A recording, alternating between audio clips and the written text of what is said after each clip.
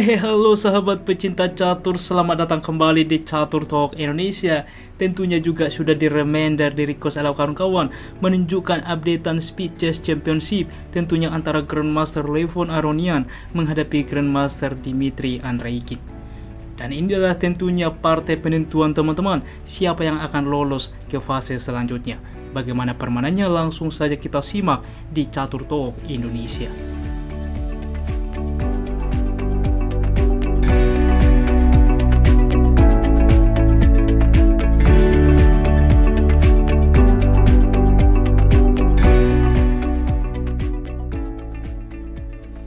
Baiklah teman-teman, di sini Levon Aronian putih memulangkah dengan pion ke-4. Dibalas Dimitri Andreikan C5, ia memilih pertahanan Sisilia. Kuda ke F3, pion ke-6, variasi Prancis pada pertahanan Sisilia. D4, pertukaran pion terjadi, kuda menerima.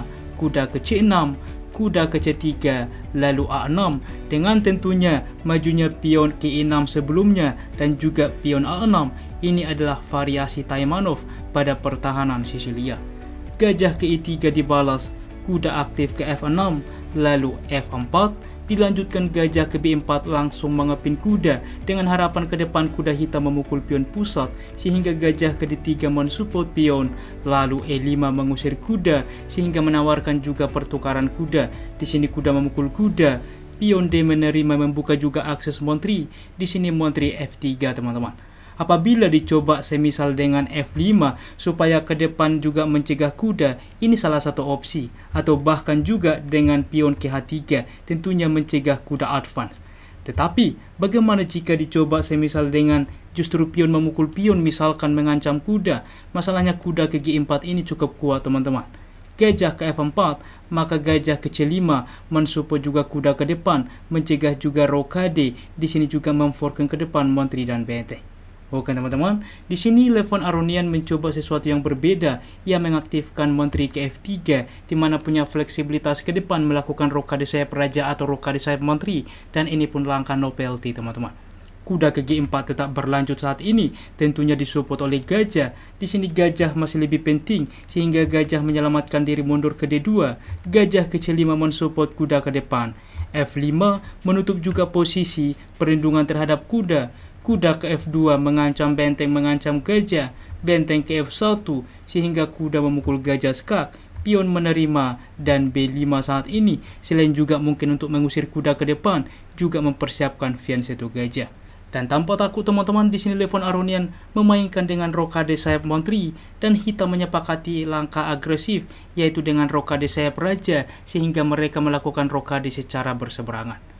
Kuda ke E2 berlanjut, mungkin ke depan mensupport pion melaju, mulai mengetek, di mana juga mempersiapkan dua pion bebas ini ke depan gajah ke E7 dilanjutkan di 4 tentunya. Maka pion memukul pion memang sengaja pion ini dikorbankan. Lalu E5 teman-teman lihat. Selain mempersolid pion pusat juga membuka akses menteri. Di sini F6 terlebih dahulu menawarkan pion.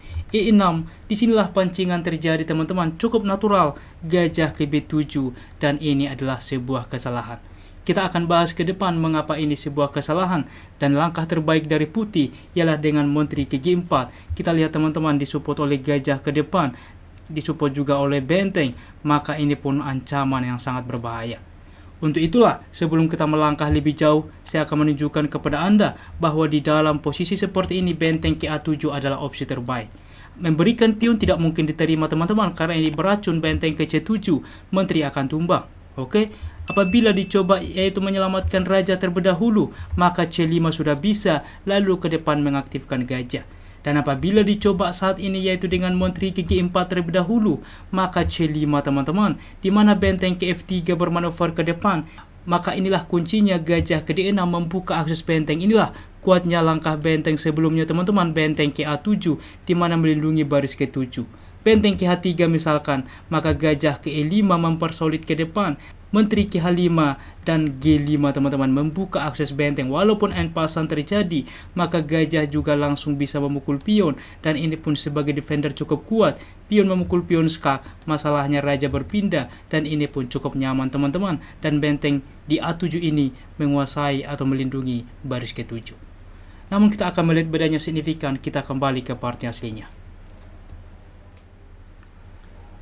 Di dalam posisi ini dipilih dengan gajah ke B7 sehingga dibalas Menteri ke G4.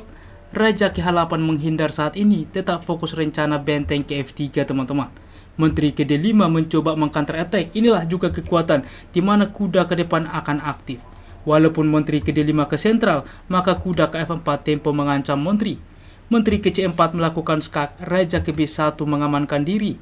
Pion ke C5 membuka akses gajah, maka benteng juga terlebih dahulu mengancam menteri. Di sini gajah memukul benteng juga mengancam menteri, tentunya pion menerima, di mana juga membuka file G. Ini cukup penting teman-teman. Menteri ke-4, maka B3, menteri ke-A3, dan kita lihat bagaimana Levon Aronian menjebak menteri ini dan menteri ini sangat pasif, tidak bisa bergerak. Maka benteng ke G1, ancaman juga skakmat ke depan. Inilah teman-teman, mengapa langkah benteng A7 sangat kuat sebelumnya, dan saat sudah terlambat.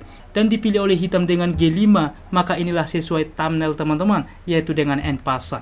Karena apa pun opsinya semisal dicoba dengan benteng ke G8 masalahnya kuda ke G6 skak tiada pilihan pion menerima maka menteri ke 4 skakmat Oke teman-teman, untuk itulah dicoba dengan G5, maka langkah pamungkas N pasan dan ini sangat penting. Benteng KB8 masih dicoba, di mana tujuan ke depan melaju untuk memforking raja dan benteng. Benteng KB8 akan tetapi setelah simple pion memukul pion, di sini juga bahwa hitam menyerah karena ancaman skakma tak bisa dicegah. Apabila dicegah tentunya oleh gajah, maka ini menutup akses benteng sehingga Montri Kiki 8 dan ini pun skakma luar biasa teman-teman dan cukup menarik bagaimana duel permainan pada Speed Chess Championship antara Levon Aronian menghadapi Dimitri Andreikin. Dan berikut adalah tingkat akurasinya. Ulasan permainan dari komputer game review menunjukkan bahwa Levon Aronian memiliki tingkat akurasi 83,9% dan Dimitri Andreikin 69,8%. Baiklah teman-teman, demikianlah ulasan catur hari ini. Jika kawan-kawan suka dengan konten seperti ini, dukung kami dengan cara like, sehingga algoritma YouTube membaca video ini dan semakin banyak direkomendasikan bagi sahabat pecinta catur lainnya. Apabila ada saran ke depan, jangan ragu tuliskan di kolom komentar, dan kami akan berusaha membuat requestan dari Anda. Salam Catur Talk Indonesia, sampai jumpa di video berikutnya. Keep sharing and keep loving. Bye-bye.